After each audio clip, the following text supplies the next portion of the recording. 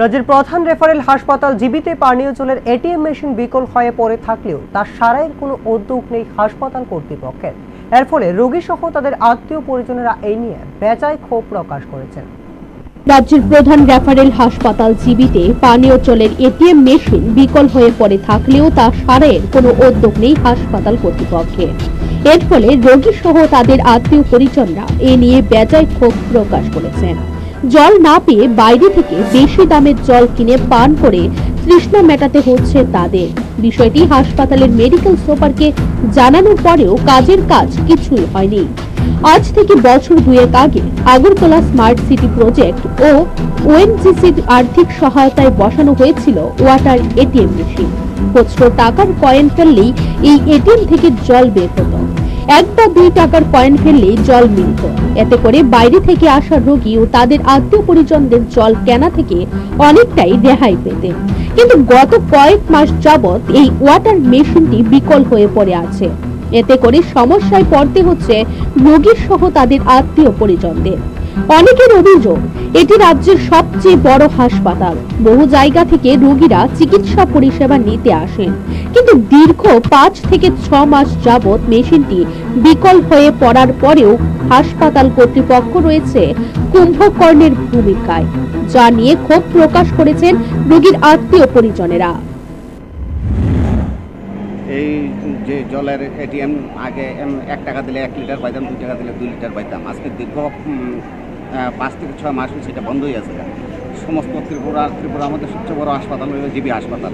ওই জায়গার মধ্যে সমস্ত ত্রিপুরা মানুষ ওই জায়গার মধ্যে আইয়ে হ্যাঁ দূর দূরান্ত থেকে আয়ে কিন্তু দেখা গেল ওই যে এই ওনজেসি এবং স্মার্ট সিটি দুইটা এটিএম হ্যাঁ কিছুদিন চালু আসলো তারপরে আজকে দীর্ঘদিন ধরে পড়তো আহ, এতে সমস্ত ত্রিপুরা মানুষ যারা এখানে আয়ে রুগী টুগি সবারই অসুবিধা।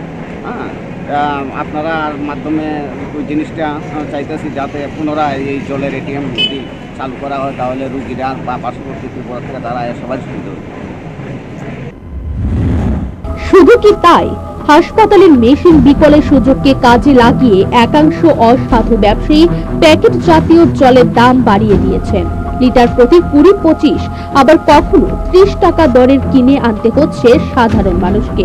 এতে করে চিকিৎসা খরচ মিটিয়ে তৃষ্ণা মেটানোর জন্য চড়া দামের জল কিনে হিমশিম খাচ্ছেন রোগীর পরিবারেরা। এরপরে দিয়া নিচে গেলে বিশ টাকার জল পঁচিশ টাকা কিনতে হয়।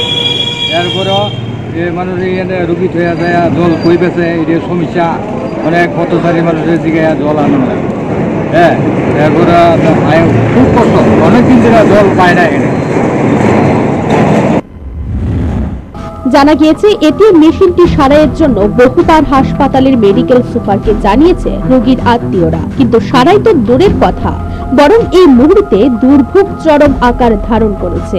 পানীয় জলের এটিএম মেশিনটি এখন আবর্জনার পাত্র হিসেবে ব্যবহৃত হচ্ছে। রাজ্যের নেতা মন্ত্রীরা সভা সমাবেশে স্বাস্থ্য পরিষেবার মনোন্নয়ন নিয়ে গলা ফাটিয়ে থাকেন। কিন্তু আদতে স্বাস্থ্য পরিষেবার উন্নয়ন যে কতটা হচ্ছে, তা এই চিত্র দেখলে অনেকটাই স্পষ্ট হওয়া যায়। দাবি উঠেছে, স্বাস্থ্য দপ্তর যেন এই বিষয়টি গুরুত্ব দিয়ে দেখে, দ্রুত মেশিনটি সারাই করে। Report, Mrinalini ENN